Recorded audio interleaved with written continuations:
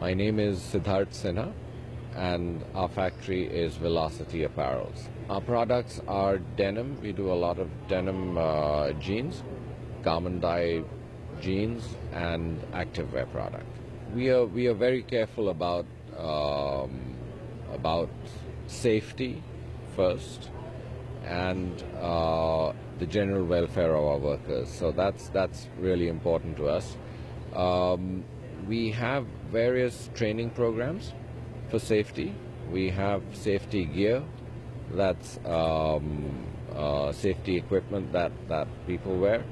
Um, we've got on, on the compliance side, we've got proper compliance officers, we've got a, a compliance department, and their job is just to make sure that everything stays right and within the um, process and uh, that includes like time records, everything. So, so the entire compliance process is is monitored by this department. There was a lot of demand from customers to get WRAP certified, and uh, the second and actually the more important reason is that being WRAP certified, uh, certified gives us the confidence that, that our system is working correctly. If you, if you don't have that verification, you don't know what you're doing. I mean, it's, it's as simple as that. And, and, and uh, if we are putting in so much cost, we believe in the fact of being compliant.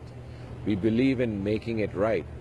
And, and the certification just gives us that uh, added confirmation that, yes, we are on track. It's it's benefited us hugely. I think um, on on both accounts. On the account of uh, actually knowing that we are doing the right thing by our workforce, and um, in getting us customers, because the customer looks at it says, "Are you WRAP certified?" And we say, "Yes, we are WRAP certified," and then that they feel confident that this is the right place for them to place business, and that really helps. The entire subject of compliance in Africa is well known to companies like us who are like international and we've worked in several countries.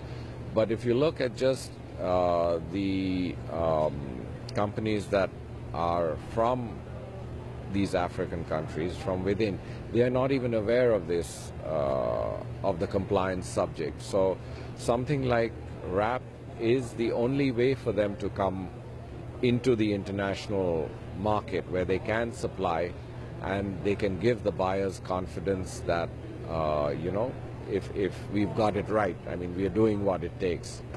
And, and yes, I think it's a, it's a very important tool for Africa. This would be a way that Africa could really get out there. I, I think it's great, and I think that they, they, uh, the WRAP maintains a standard. They are not uh, they are not like wishy-washy. They're not flexible about, and that's that's that's the good part. So so they do it right. They do a good job, and and we are really proud to be a part of the whole system.